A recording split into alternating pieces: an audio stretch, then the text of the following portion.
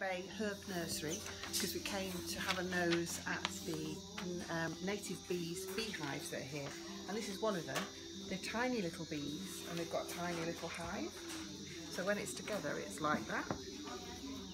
And it looks like that's where the nest goes in the middle, the domed bit. And then that on top is like one of our supers. And we just had a taste of the honey. It was absolutely gorgeous, like nothing I've ever tasted in my life. Beautiful. There's a top box there, looks like it lifts off, mm. and whether that's to access the honey, I'm not Yeah, sure. I don't know how they work. It's very early days for us. That's on top.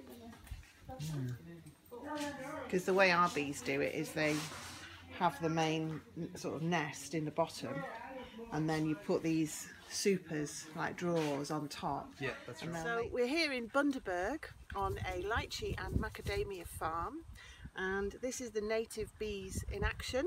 As you can see, they're really, really tiny bees. So they only got a tiny hole, and their job is to basically pollinate all these trees, which they do um, really well. They make honey, but they only make a tiny amount of honey every year. So they make about a litre and a half in a whole year. So the honey isn't the main thing that's used with these. They're used to be pollinators. And the proper name for them is Trigona carbonaria. Trigona carbonaria. Yeah, so there you go.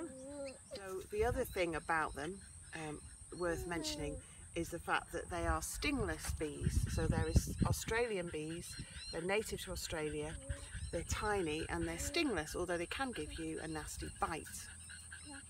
That's the macadamias on the tree. And then they fall off and then they get picked up. That's how they're harvested.